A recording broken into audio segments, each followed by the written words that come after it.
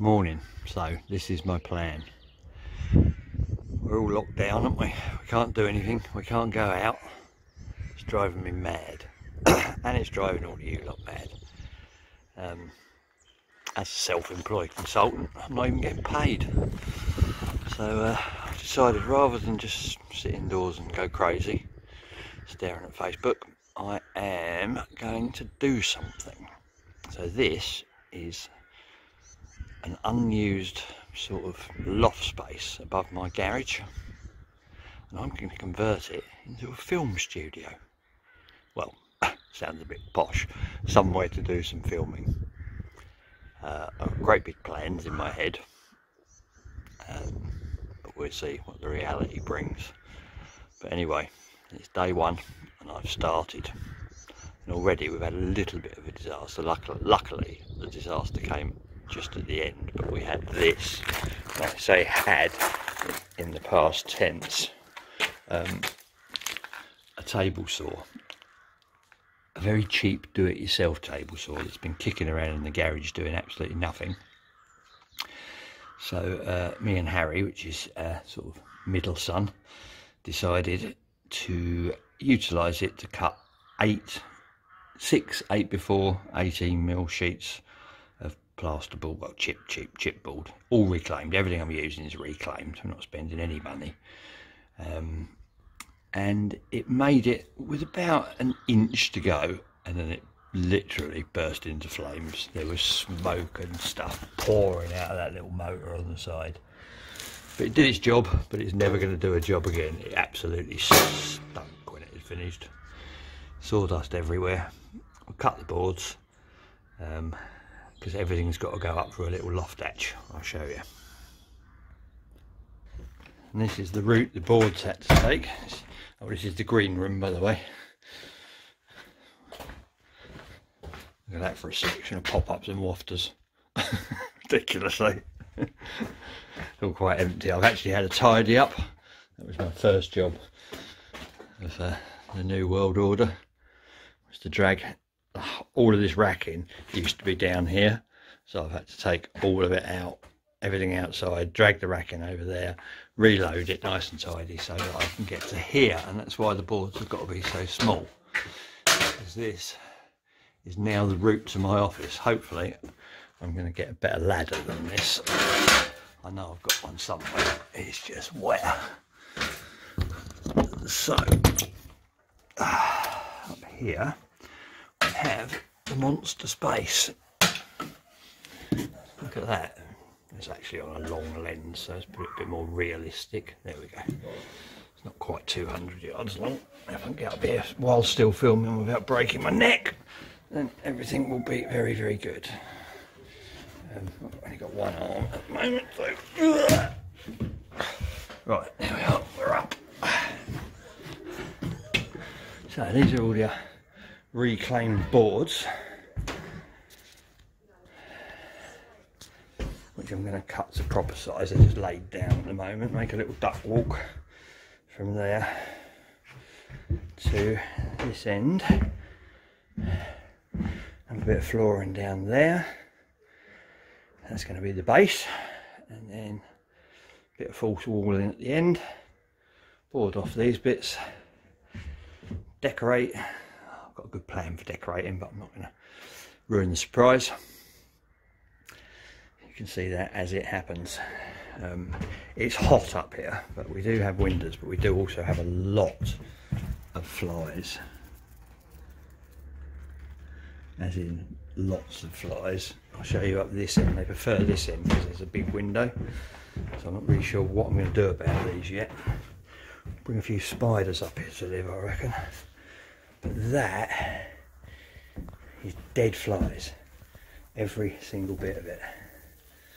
And this is live flies. I ain't too sure where they're coming from. Maybe I should discover that first, but ew. anyone's squeamish, probably best not to watch this bit. Fly away. And they are just heaving.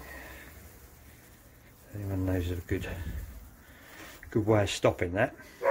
I mean, look at that. That's about a gazillion of them. Yeah, Madalena down in the garden in the background barking at something. God knows what. Oh God, there's just black with them. I wonder where they're coming from. Flies surely need something to eat to breed. There's nothing up here to eat. Don't know. Not the best anyway. But there you go. So that is where we are at the moment.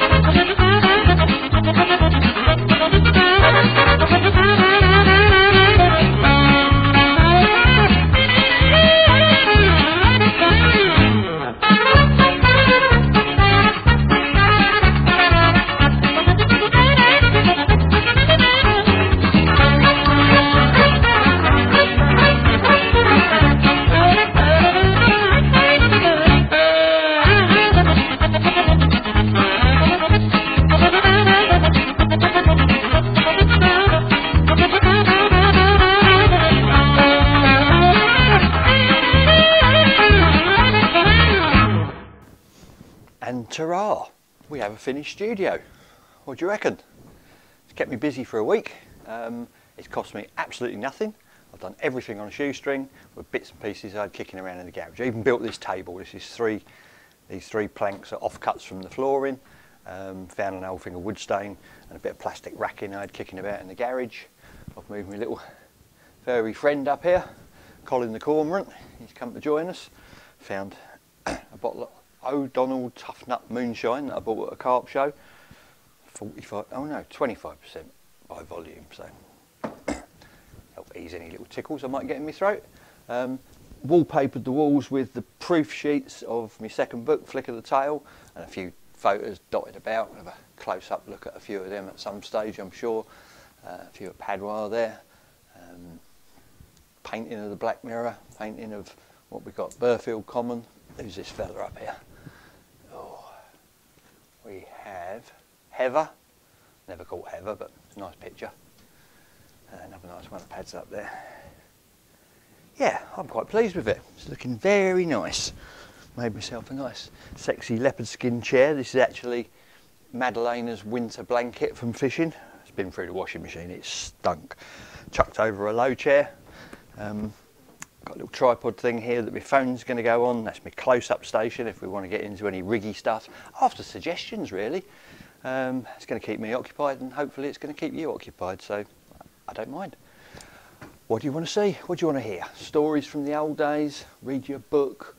Uh, Q and A's? Maybe you can send in like messages saying various stuff you want to know, like like you would in a magazine, really. But it will be, well, I say live. It won't be exactly live because the Wi-Fi is not very good from here to there. So I'll record it on there, run downstairs, pop it in the computer. But we can make it work.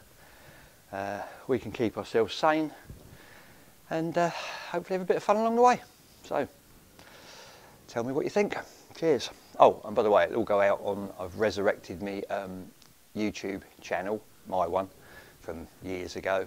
Uh, I did put a little tester up yesterday, the Burghfield Common booking and playing and the run and that. So if you saw that, that's the channel. Uh, I think it's Dave Lane on carp fishing, I've called it. Um, but I'll link everything to Facebook. But if you do go on the face on the YouTube channel, sorry, can you um, share it if you would? and uh, I don't know whether it's called register, subscribe. it's not a pay thing, you just subscribe and that way I can see if it's working, how many of you are going on there and um, yeah, just helps me really, so nice one. Cheers.